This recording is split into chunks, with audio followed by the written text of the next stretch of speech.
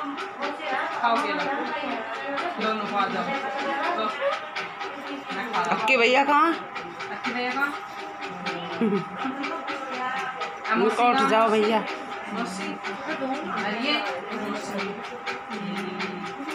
सब mushy mushy hello everyone कैसे हो आप सब? आप सब भी ठीक होंगे? ये वीडियो मेरी बहुत पहले की है। इस वीडियो को मैंने आठ नौ दिन पहले एडिट कर दिया था बस डाल नहीं पाई। आप जानते हैं क्यों नहीं डाल पाई? तो हैं तो देखो भाई इतना डर चाहिए। मुझे मारना थोड़ी विदा का जवाब मेरे मम्मी रे।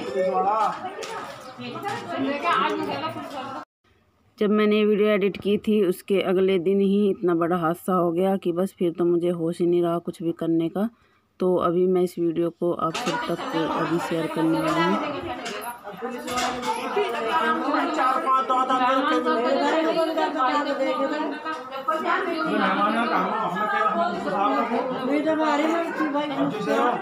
अर्जुन कह रहा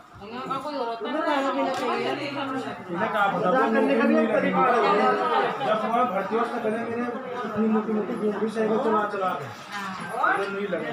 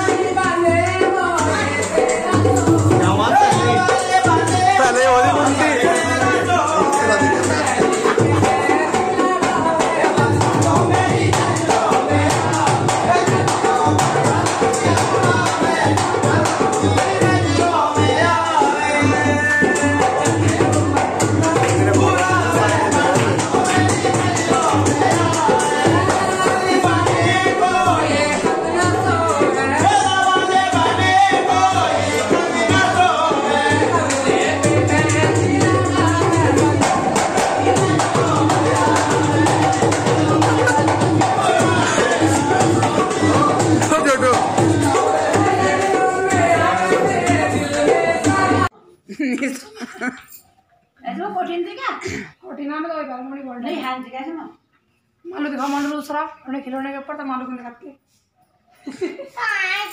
तो ये साड़ी दीदी फॉल लगाने के लिए दे रही हैं। दिखा रही थी कि कैसी लग रही है, अच्छी भी लगेगी या नहीं।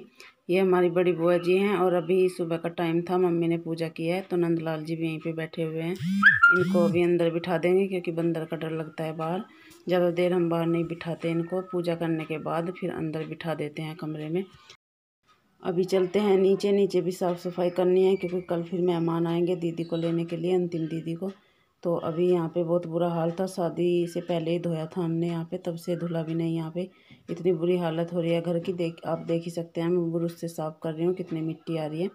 बहुत ही ज़्यादा मिट्टी, गोबर और चिकनाई वगैरह सब कुछ फैला पड़ा हुआ है यहाँ पे। तो बहुत मेहनत लगेगी धोने में भी तो भिगो के मैंने मोटर बंद करवा दिया था। कि पहले मैं इसको ब्रुश से साफ़ कर लेती हूँ, उसके बाद में चला देना पानी। पशुओं के नीचे तो धो दिया मैंने, इधर भी और उधर भी, बस अब चौक में धो देंगे और उधर गैली में भी धोना है। तो हालत आप देख ही सकते हैं कितनी बुरी हालत है नीचे की। अब की बार तो बहुत दिन हो गए धोए हुए इसको तो बहुत देर लगेगी साफ़ करने में। आज तो पूरा दिन सफ़ाई सफ़ाई में जाने वाला है। नीचे सफ़ाई करके आई थी तो फिर ऊपर लग गई थी। किचन को तो मैंने अच्छे से क्लीन करके और धो के बंद कर दिया है।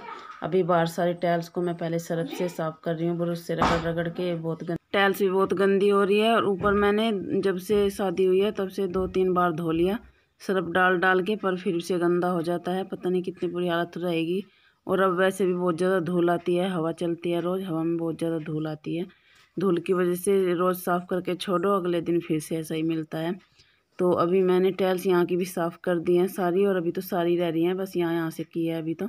बाथरूम की भी करनी है, बाथरूम की भी बहुत बुरी हालत हो रही है तो वहाँ की टाइल्स भी साफ़ करनी है, और मुझे शाम के चार तो बज गए, और अभी पता नहीं कितना टाइम और लगेगा। बीच में हमने थोड़ी थोड़ी सी क्लीनिंग तो कर ली थी, पर आज मैं ज़्यादा सफ़ाई में लगी हुई हूँ, क्योंकि कल अंतिम दीदी जाएँगी, मेहमान आएँगे घर में इनको लेने के लिए। इसी वजह से ज़्यादा मेहनत करनी पड़ी है, नहीं तो आराम आराम से कर लेते थोड़ा थोड़ा करके, पर साफ़ सफ़ाई तो करनी ही है, आराम से करो या फिर जल्दी करो। और अभी मम्मी ने भी कलाकंद जमा दिए हैं दीदी के लिए, इनको जमा देंगे रात रात में ये भी अच्छे से जम के और टाइट से हो जाएँगे, नहीं तो फिर मुलायम मुलायम से रहते हैं। तो अभी इनको थाली में करके, घी लगा के नीचे और थाली में जमा के रख देंगे पंखा चला के। तो ये अच्छे से जम भी जाएँगे। एक बार फिर से आप सबको बता देती हूँ, ये वीडियो मेरी आठ नौ दिन पहली है।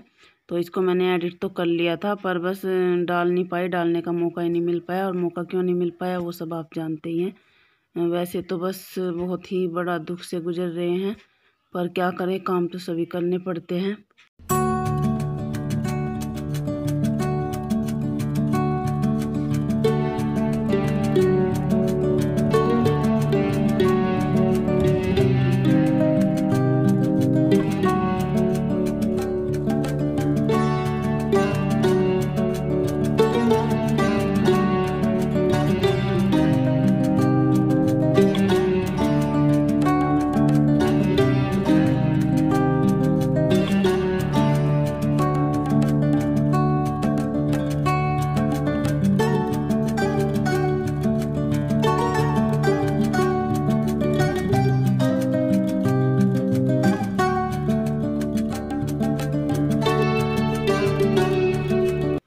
बार कपड़े दोपहर को धुल गए थे और अभी फिर से मशीन लगाई है क्योंकि बहुत सारे कपड़े हो रहे हैं। अभी धो लेंगे, फिर कल तो टाइम नहीं मिलेगा, मेहमान आएँगे।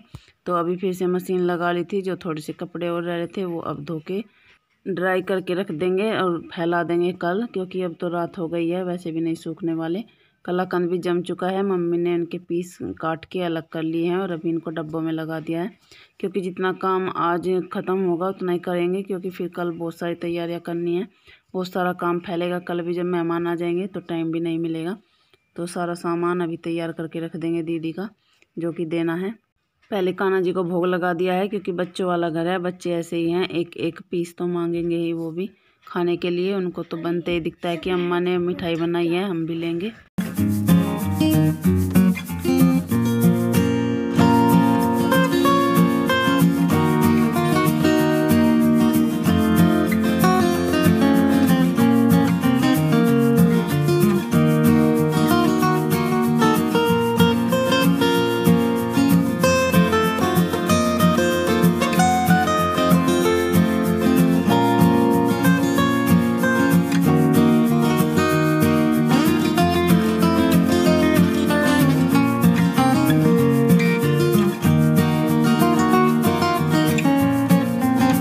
ये वीडियो है अगले दिन मॉर्निंग की तो अभी सारी तैयारियों में लगे हुए हैं। मेहमान अभी तक नहीं आए।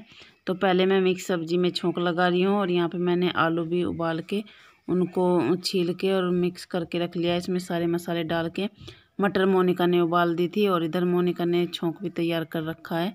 इसको मिक्सी में पीसना है। सब्ज़ी मोनिका ने ही काटी है। कुछ मैंने हेल्प करवाई है।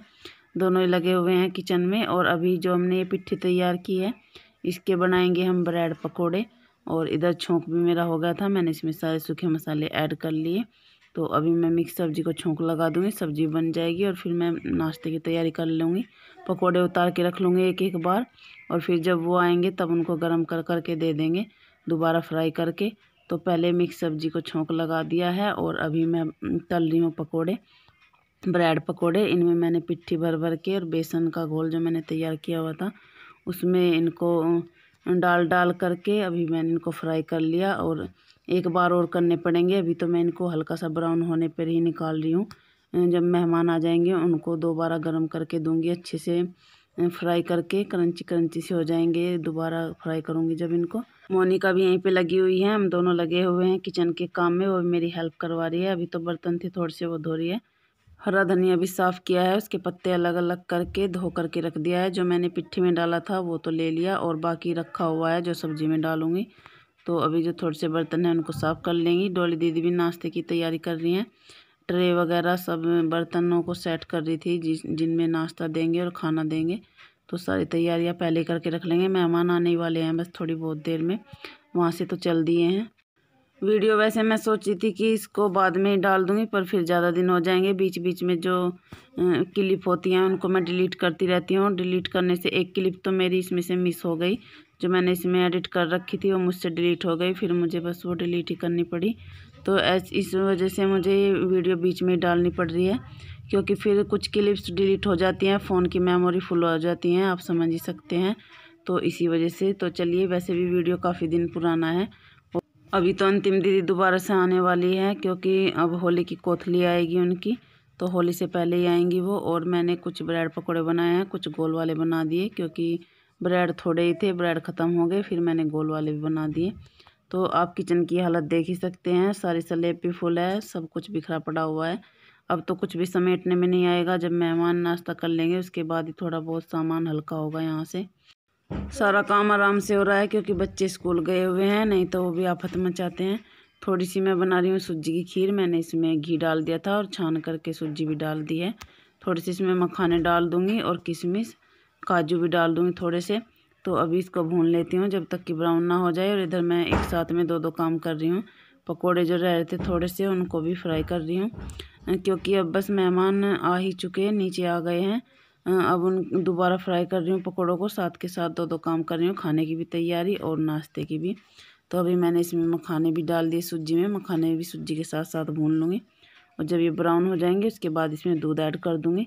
वैसे कढ़ाई दूसरी वाली गैस हमारी कम चलती है तो ये अच्छे से फ्राई हो जाएँगे धीमी धीमी आँच पर फटाफट से मैंने खाने की भी तैयारी कर ली और नाश्ते की भी, दोनों काम साथ ही साथ हो रहे हैं। तो खाना बनाने में भी ज़्यादा टाइम नहीं लगेगा, अब तो सब कुछ तैयार है। बस मेहमानों को अभी हमने नाश्ता कराने के लिए सामान सारा तैयार कर दिया है। नाश्ता कराने के लिए सारा सामान मेज़ पे लगा देंगे। अभी गर्मा गर्म पकौड़े भी चाय बनानी है। वैसे भी चाय नहीं बनी। चाय बननी रख देती हूँ पहले इस वाले गैस पे। डोली दीदी नाश्ते की तैयारी में लगी हुई है। अभी सेब काट रही थी। नाश्ते में सेब भी देंगे और काजू बादाम तो पहले ही फ्राई कर लिए थे घी में। तो सब कुछ तैयार है बस। अब तो खाना ही तैयार कर रही हूँ मैं। नाश्ता हमारा बाहर लग चुका है। नाश्ते में सेब हैं, बिस्किट हैं, नमकीन है, काजू बादाम है और जो मम्मी ने कलाकंद बनाए थे वो है, पकोड़े हैं। तो ये हमारा नाश्ता तैयार हो गया है। आप सब भी आ जाइए। आप सब भी नाश्ता कर लीजिए मेहमानों के साथ में। किसी चीज़ की कमी तो नहीं है। प्लीज़ कमेंट करके ज़रूर बताइएगा।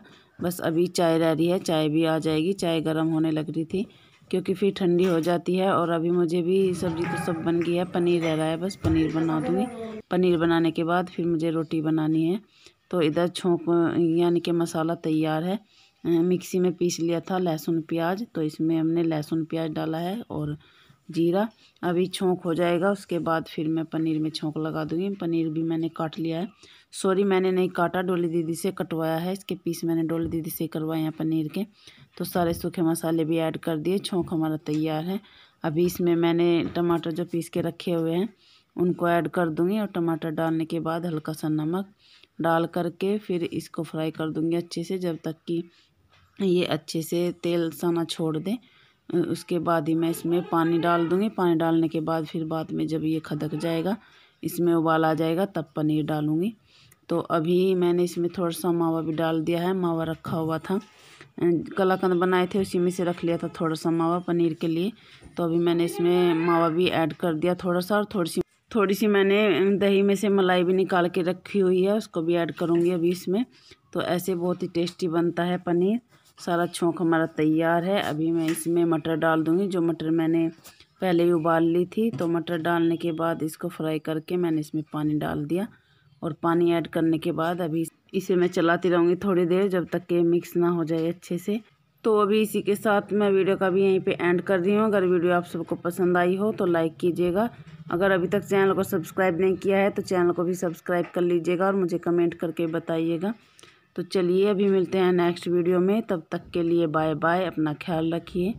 और प्लीज़ मेरी ऐसे ही, वो करते रहिए मदद, मुझे सपोर्ट करते रहिए, हिम्मत बढ़ाते रहिए।